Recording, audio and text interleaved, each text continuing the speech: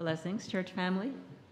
Today's scripture reading is found in Romans 5 1 to 5.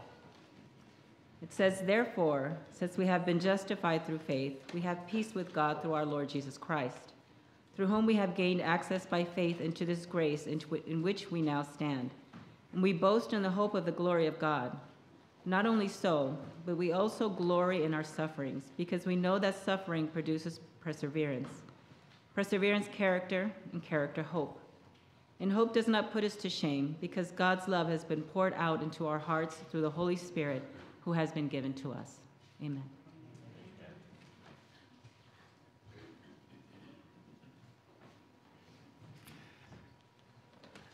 Happy Sabbath.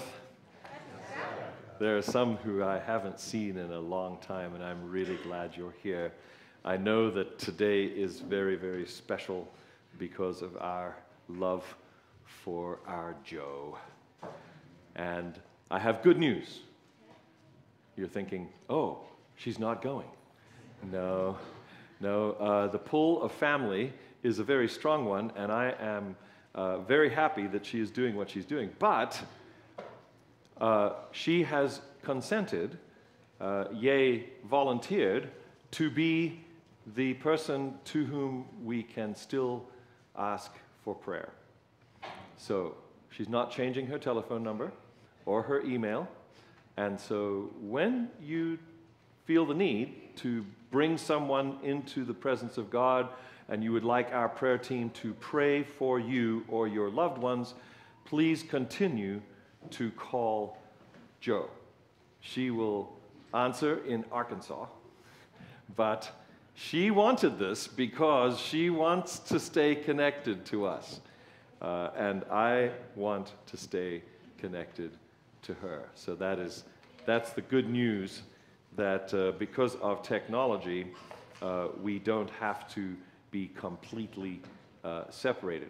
I don't know about you, but with my children living far, far away to the north, I'm just going to say hi to them if they happen to be watching today, uh, because they do. They watch from Calgary, Canada, where this week it has been 35 below.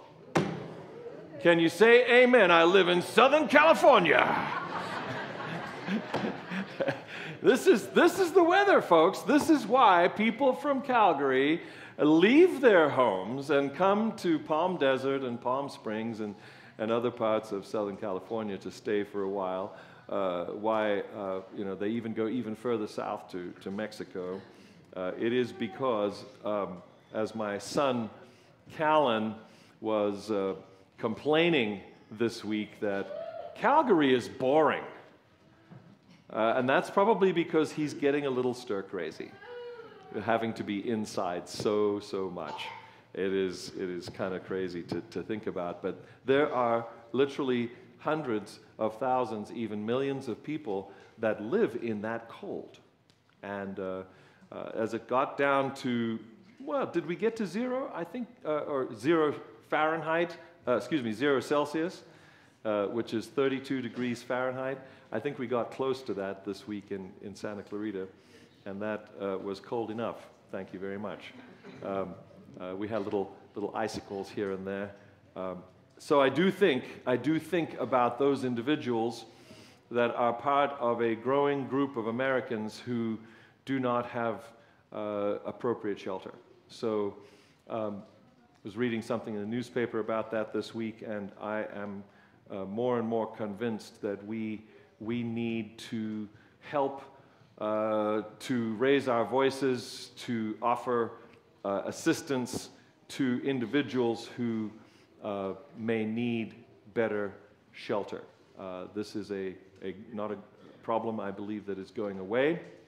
It is a problem that is, is growing, and um, we are not immune to this here in Santa Clarita. So uh, understand that uh, there are many, and I mean many, individuals who, who uh, would like to see something done that would be positive. Because I'm going to say this because of my love this morning. I love being an American. I'm proud. I, am serious. I've traveled this world over, and I am proud to be an American. And I believe that we have the technology, we have the power, we have the love. We have the love, I do believe, to take care of our fellow Americans, uh, many of whom are veterans, many of whom have suffered in ways that we cannot even begin to understand. And uh, I am hoping that we can love, hopefully. The story that I have decided to, to bring to you today is, is one, again, of, of intrigue and, and, and something that we, we may have thought about in the last 10 years, uh, but maybe you haven't. I want to remind us of the story of Abram, and at this point in his life, he's Abram and not Abraham yet. He will become Abraham, but he's Abram, and he is the uh, brother of a guy who had died named Nahor. Uh, yes? No. Terah? Who was, who was his brother? It wasn't Nahor. Nahor was his uncle. Anyway, he had died, and his father, Terah, who was called before him, had not continued the journey and had stayed where his brother had died. And so Abram gets the call from God, and God indicates that he should take his brother's son, his nephew Lot, with him. And so Lot uh, uh, maybe, maybe it's a good pun, Eric, I don't know, but he throws his lot in with his uncle. And together they journey to the, the land of Canaan, which God had promised that he would eventually give to the descendants of Abram. It was a land that he had not been a part of originally. And so they, they start living in this land, and their, their, their flocks and herds get so big that it becomes difficult to graze them together, and so they decide to separate. As the story goes, you, you, you, you may, uh, may be remembering now that uh, Lot chooses to live in the fertile plains that are headed down towards what we know today as the Dead Sea, the uh, plain where the two, the two twin cities were of Sodom and Gomorrah. And slowly but surely, the economy of the day, the convenience of shopping, you know, I mean, he moves closer and closer to Sodom until finally he decides, I don't need to live in a tent out here. I can live in town in that brick and mortar house that my wife has been wanting. And he's got the money and he's got the prestige, and so he decides to move into town. The Bible tells us that there were marauding kings that would go around and would capture whatever they could and then go home with it. And so, if you turn in your Bibles to Genesis chapter 14, we come across this very interesting story where these kings, led by, and I'm going to I'm going to get my glasses out because it's one of those amazing names, Kedor La, um, Laomer. Kedor Laomer. So we, we, will name him as the bad guy in the story. Okay? Kedor Laomer and his allies arrived and defeated the Rephaites at Ashtaroth Karnaim, the Zuzites at Ham, the Emites at Shev Kiriatim, and the Horites at Mount Seir, as far as El Paran at the edge of the wilderness. So you have one group of kings that comes into battle with the kings of Canaan. The Bible actually says that there was kind of five against four, plus their armies. But the cumulative result was that the king of Sodom loses. And he and his army are scattered, and the people of Sodom are taken into captivity. As you now know, one of the inhabitants of Sodom was Lot, the nephew of Abram. Now, in the division of land that they had done before, Abram had decided to live up on the mountains. It was safer. Uh, he, he, he, he knew that it wasn't as good a pasture, but he wanted to give his, his nephew all the advantages, and so he did. But those advantages led him to this day when he was captured with his wife and children and was taken by Kedo Loomar into captivity. Well, not to allow this to just go by easily, Abram gathers up the able bodied fighting men in his family. Now, the families of those days, as you may have studied, were extended and extended and extended. And if you were a servant of a person like Abram, you had children in that family and you were considered part of that family. And so when Abram came to Canaan, it's likely that his extended family was 70 to 100 people. So now, now things have, have gone on, time has passed, and there are, the Bible says, 318 fighting men. But haven't we just heard that there were five kings that attacked? Yes, there were. So you're thinking, how would he even think about going after his nephew with only 318? But the fact is, he's not alone. He is the worshiper of the great God Most High, creator of heaven and earth. Thank you for being here today, my friends, because by you sitting here in these pews on this day, you are saying, I am worshiping the great God of the universe, the creator of all things. It is a statement that needs to be made not only by our presence, but by the way in which we live in His kingdom, which uh, Denise and I were telling the kids about this very morning. We have a choice, my friends, to be in the kingdom of heaven or to be in the kingdom of this world.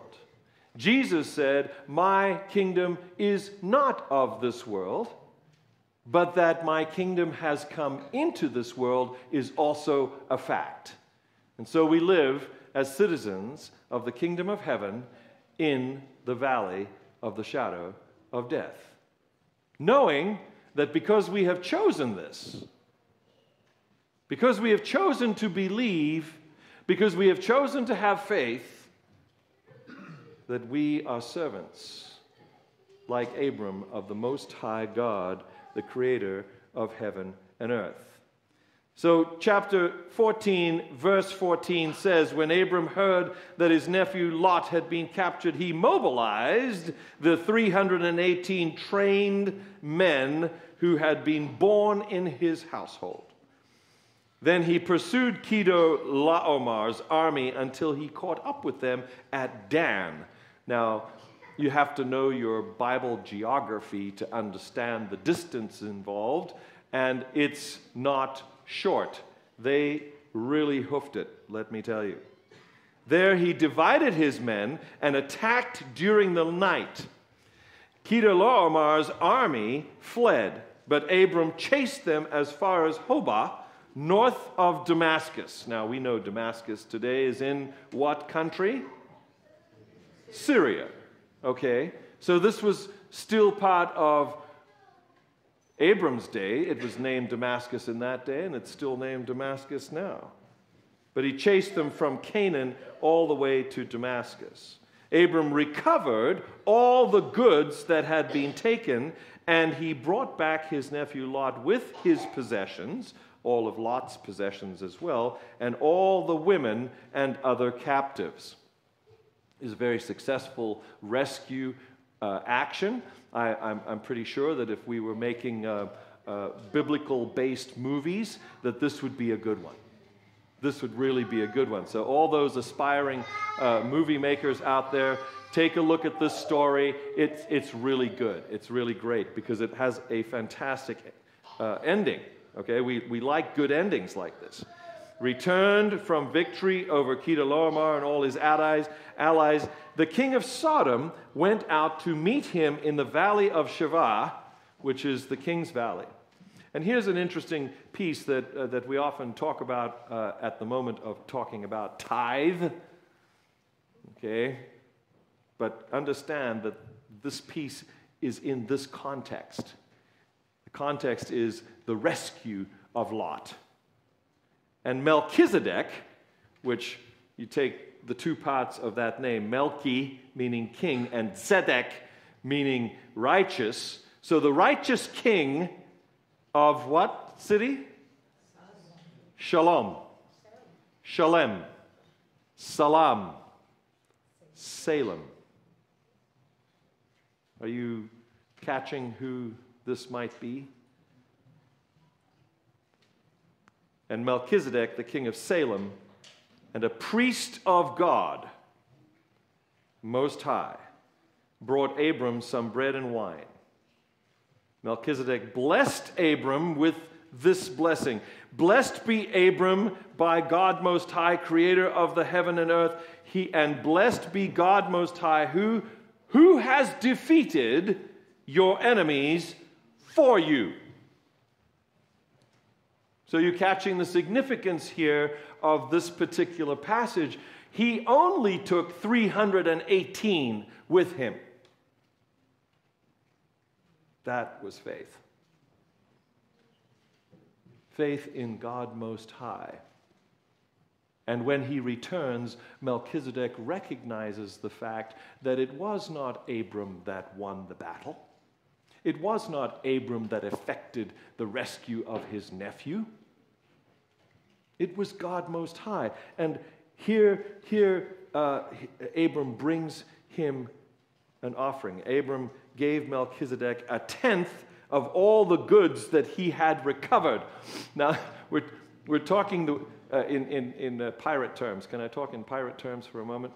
Um, booty.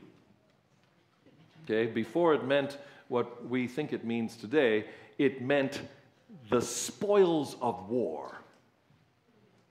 And so he had recovered. What you're reading here in this, this epic story is that Abram had not only recovered the people, including his, his nephew, who was probably doomed to servitude with Chedorlaomer, but he also recovered all of their possessions, which is what the kings had been after in the first place.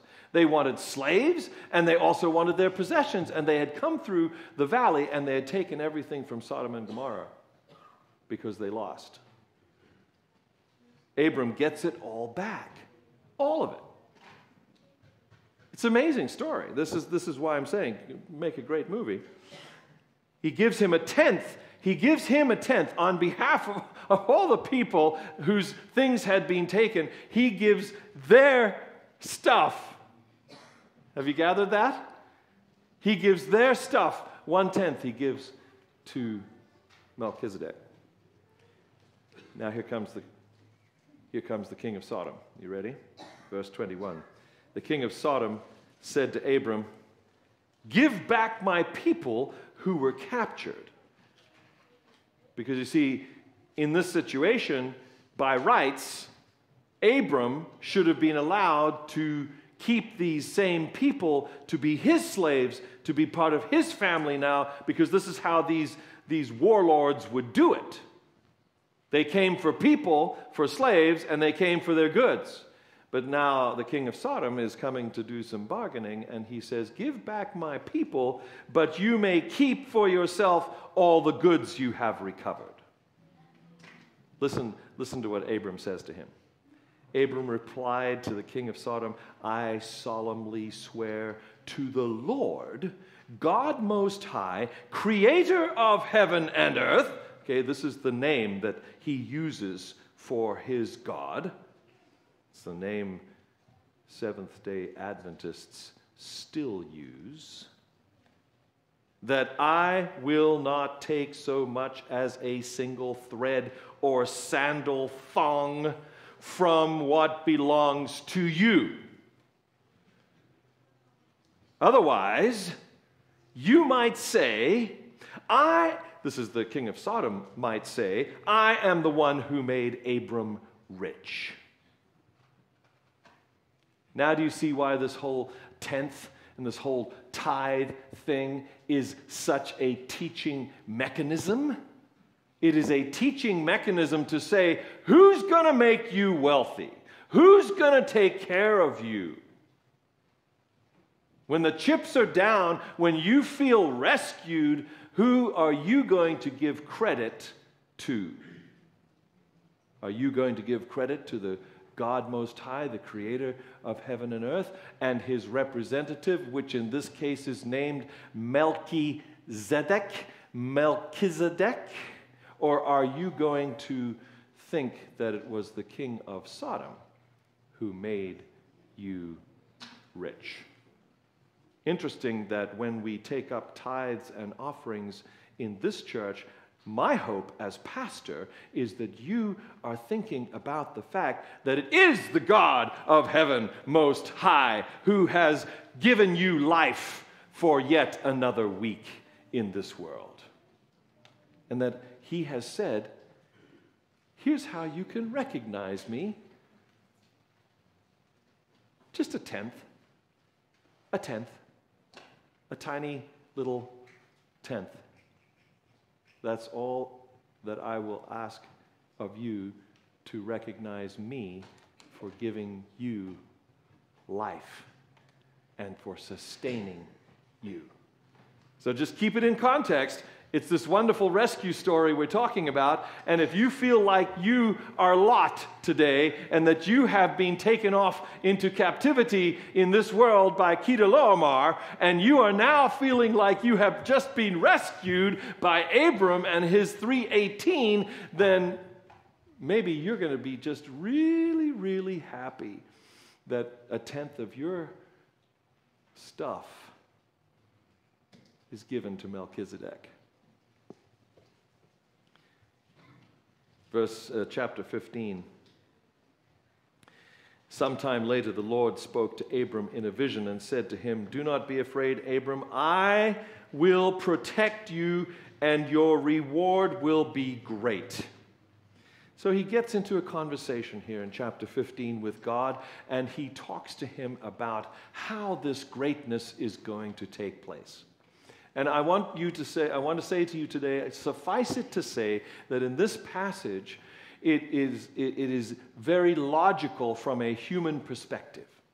It is very logical from uh, uh, uh our uh, depth of knowledge and understanding about how things are and how things can be.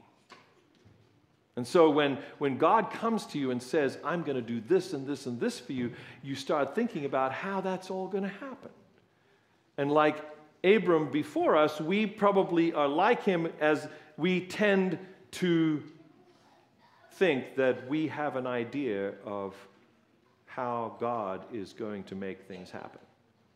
I know that as I've gotten older, and as I have studied and restudied the things that are especially interesting to Adventists about how we believe things will happen, I am convinced of one thing it hasn't been happening the way we thought it would happen. I don't know about you, but that's where I'm at. And so I'm a little less maybe even more and more uh, uh, convinced that we should be watching what God is doing because He's doing some amazing things in our day and age that we didn't think would happen, that we didn't think that we would live to see, and it's happening. It's happening. It's His, it's his work after all, and He's doing it. So He brings Abram together with Himself and He tells him that He wants he wants to uh, make a covenant with him. It's a pretty, it's a pretty gory story in Genesis 15. And for the sake of the, the children, I will have you read it there because he takes a female goat, a three year old ram, a turtle dove, and a young pigeon, and he presents them to God by cutting them in half. Next time you go to a wedding, realize that we are still cutting covenants. Can you think of the moment at the wedding reception when this happens? The cake. Hours are spent on that cake, and the fondant is put around it, and the beautiful flowers, etc., etc., only to have two hands, usually. We, you know, we like to say, oh, for the pictures. You know, put the hand and then the other hand. But it's a knife, and they are going to destroy. They're going to cut. It's never going to be the same again. I like the African American tradition. In the days of slavery, when weddings between slaves were not allowed. Can you imagine? They would have a ceremony in their quarters and they would put a broom down on the ground. And they would stand together, hand in hand, on the one side of the broom and they would look at each other and say, We are now going to, to transition from not being married to being married. And they would jump into the air, and together they would cross over the broom. They would leave behind the other side, and they would land on this side, and that was not married, and this was married. And as they're in the air together, there's no going back. There's no like, ah, I want to go back. No, no, no, no. There's no runaway bride in this story. They're hand in hand and they jump together and they are married when they land on the other side. I love that idea. It's the same thing that's happening here in this story. He cuts these animals. He stays all night. He chases away the vultures. And he has a dream. And in verse 17, he sees a smoking pot, a smoking fire pot, and a flaming torch pass between the halves, the halves of the carcasses. So the Lord made a covenant with Abram that day and said, I have given this land to your descendants, all the way from the border of Egypt to the great river Euphrates, the land now occupied by the Kenites, the Kenizzites, the Kadmonites, the Hittites, the Perizzites, the Rephaites, the Amorites, the Canaanites, the Girgashites, and the Jebusites. Yes, I did go to seminary. No, you can read those yourselves.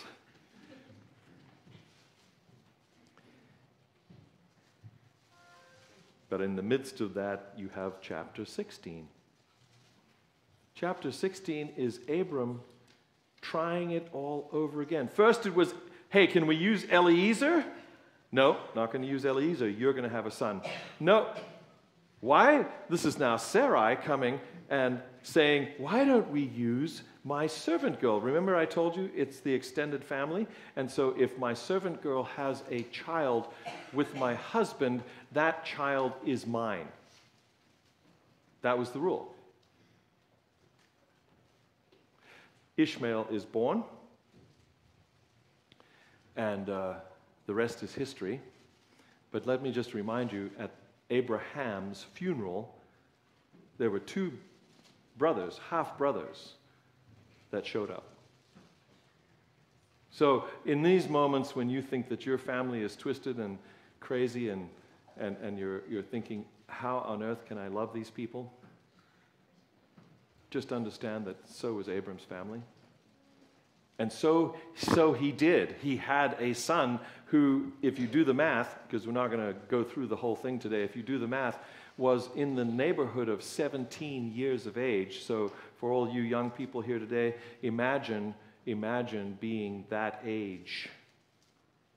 And then your father has another child with the original wife, the child of promise. And the original wife doesn't like having you and your mother around. Anyone know of any stories like this in our day? We see it happening all the time.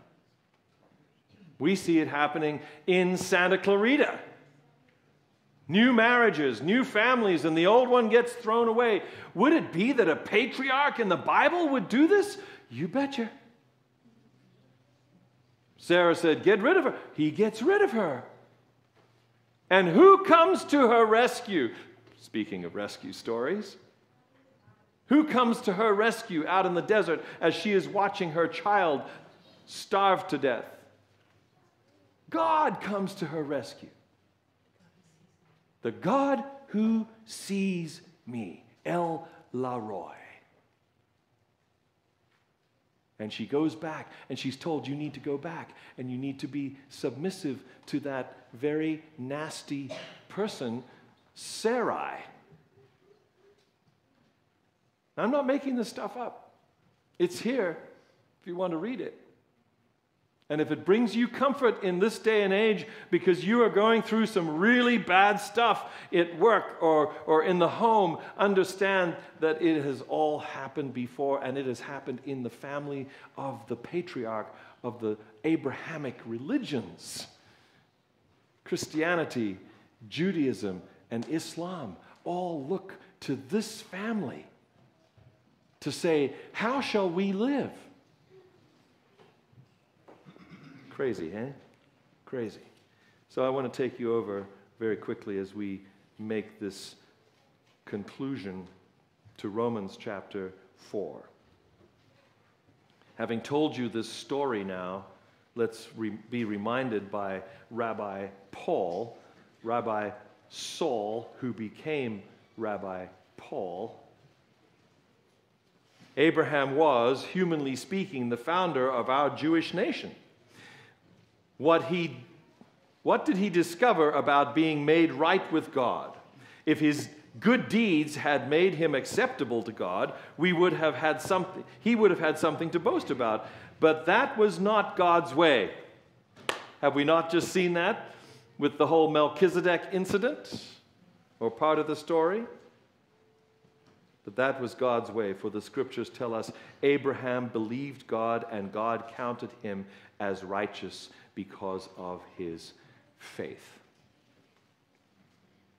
As we've been going through uh, this idea of love this month, we started out with the idea of loving generously. God has loved us generously, and if we are going to love like God loves, then we should also love generously.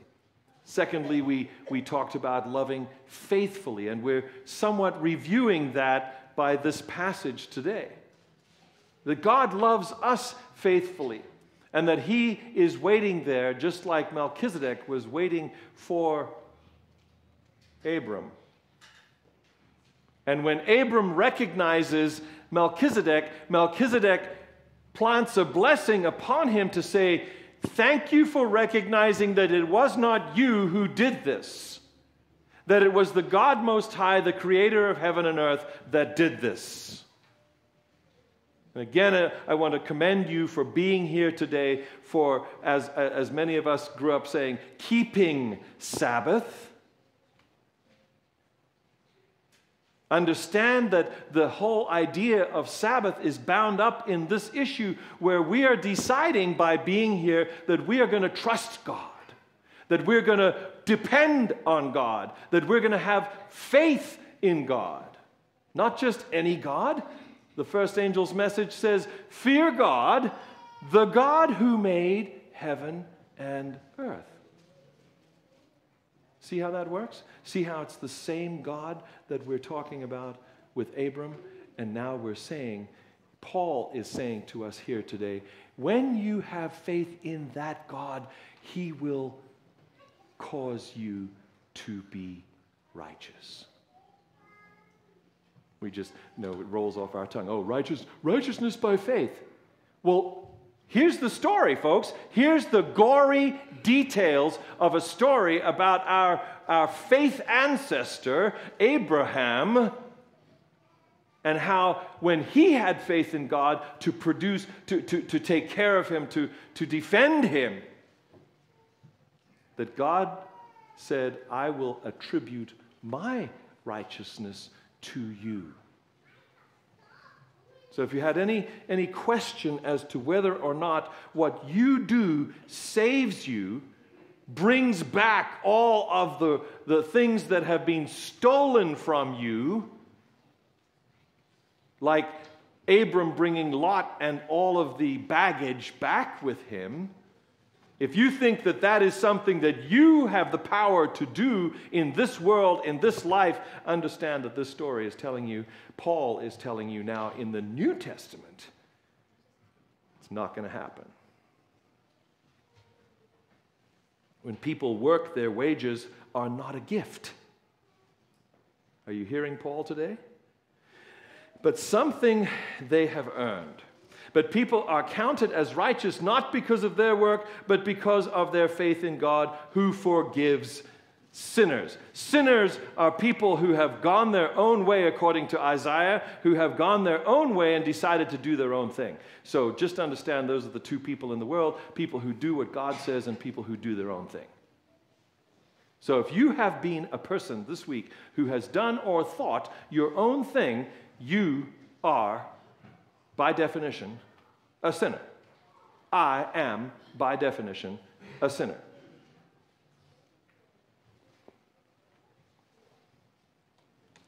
People are accounted as righteous not because of their work, but because of their faith in God who forgives sinners. Amen? Amen?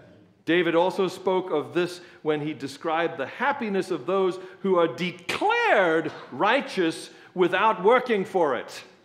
You ready? This is what David says Oh, what joy for those whose disobedience is forgiven, whose sins are put out of sight. Verse 8 Yes, what joy for those whose record the Lord has cleared of sin. Your record is clean. If you accept the gift of God declaring you righteous from His perspective, not your perspective, but from his perspective, then you are cleared of sin. Paul goes on in Romans 4 to set up, and he talks about he talks about Abram like this in verse 16. So the promise is received by faith. The promise that came through the Israelite nation but that is available to every single human being on planet Earth. This idea of uh, that he talks about in 4 is circumcised or not circumcised is just a, a, a, division between those who were part of a group and those who were not. He is saying both have available to them this choice to depend on God or not. So the promise is received by faith, it is given as a free gift and we are all certain to receive it, whether or not we live according to the law of Moses. Now, I've, I've, I've, had discussions recently with some people who, who want to take us back to, to the law of Moses, and I am ready and willing to go because the law of Moses points us to Jesus. And if you cannot see that, then we need to study again if we have faith like Abram's. For Abram is the father of all who believe. So if you believe today, Abram is your daddy. This is what the scriptures mean when God told him, I have made you the father of many nations. This happened because Abram believed in the God who brings the dead back to life and who creates new things out of nothing. There is only one God, my friends, who can do those things. He is the life giver, and He is going to give life to all those who trust Him, even if they die. Hope you don't mind, I was teaching that to your kids today in the context of the Beatitudes. Blessed are the poor in spirit. Blessed, with the new translation, blessed are those who realize they can't do it themselves, and so they've decided to depend on God. That they realize that God has to do it for them. Even when there was no reason, here's the, here's the big text for today. Even when there was no reason for hope, Abraham kept hoping, believing that he would become the father of many nations, for God had said to him, This is how many descendants you will have. And Abram's faith did not weaken, even though it was about at, at about a hundred years of age, he figured his body was as good as dead, and so was Sarah's womb. Abram, Abraham never wavered in believing God's promise. In fact, his faith grew stronger, and in, and in this, he brought glory to God. So, my friends, if you think that we've been waiting a long time as Adventist people, just understand that it's, it's not how, how long we count it to be, but it's how long God counts it to be. It's not long in the whole grand scheme of things, it's not long. It's very short, in fact. And we can say that because God is dragging his feet to come back, it might just be because he wants a few more of his human family to come home with him. You ever call you, you ever prayed, "Oh Jesus, please come back." I hope you pray the next stanza of that prayer. But Lord, but Lord, there's a few people that I need you to contact because I want to live forever in your kingdom with them. Yeah? I hope you pray that stanza as well. And maybe he's not come back because there are people that he hasn't been able to get through to yet.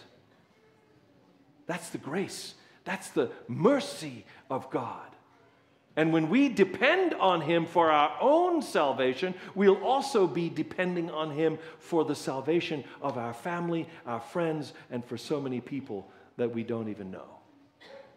So many people that He wants. In fact, He wants the whole world. He was fully convinced that God is able to do whatever he promises. Verse 22 And because of Abram's faith, God counted him as righteous.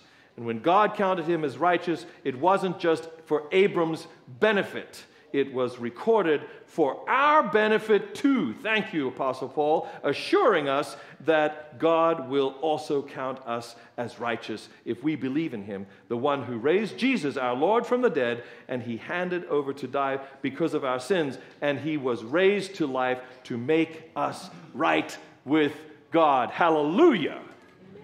We have this hope.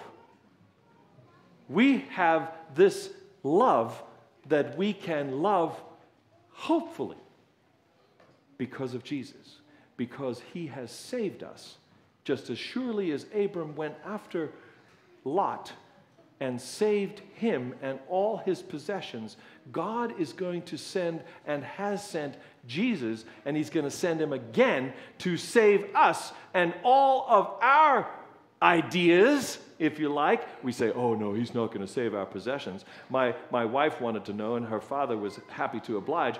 Is he going to, is he going to bring my dog back to life? You know? I say, and Paul says, this is a God who can do anything. He knows the DNA of your favorite dog or dogs because you've lived long enough now to have five. He knows your family. He knows the people that mean something to you. He, he knows that Norm and Denise are traveling to see Norm's mom. He knows what's going on with her. He knows this stuff, and He loves us, and He wants us to depend on Him. Now, that's where it gets difficult. That's where it gets difficult because every day that we wake up and we jump on the 14 or we jump on the 5 and we go to work, or maybe it's right here in Santa Clarita, we go to work. We are pulled by another force that is saying, depend on me or depend on yourself because you have to do it. Now, I'm not saying that we shouldn't work. Believe me, that's not what I'm saying. What I am saying is we shouldn't depend on that work to save us or our families ultimately. So as we as we go forth, I hope this week we will we will remember Abram who because of the covenant, because of the belief that he had in God was made into Abraham. Abraham, father of a great nation. May God make you into a great nation of people who depend on him, hopefully. Amen.